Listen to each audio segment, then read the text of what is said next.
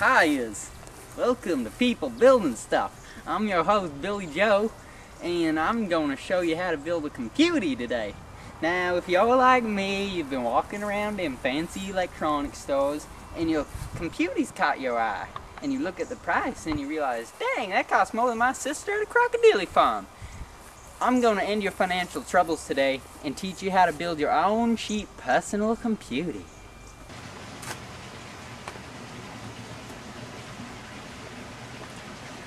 First part of building your computer is the monitor. Now you can make your monitor however you want. As you can see, we made this one ahead of time. You can add your own personal touches. Personally, we made these little buttons here. As you can see, we got our on button, our off button, our play and pause buttons if you want to slow down time a bit, make your computing better. Uh, down here we got our keyboard. It's pretty nice. We got wires and stuff but you can make your computer however you want.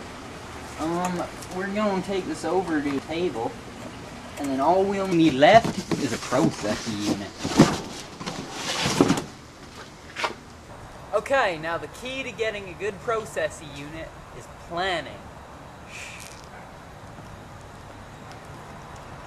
Ooh, pudding! Ooh, pudding! More pudding! There's so much pudding!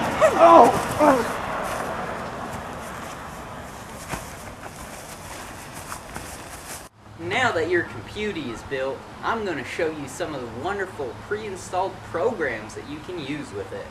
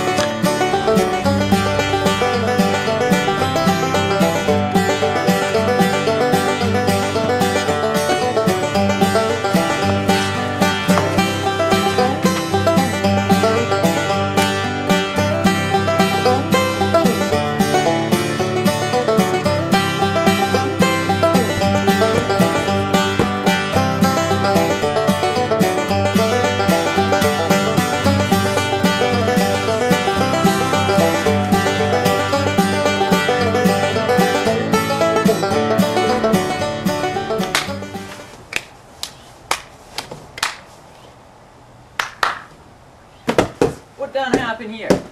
Oh, you computer don't freeze up. I will teach you to be breaking on me.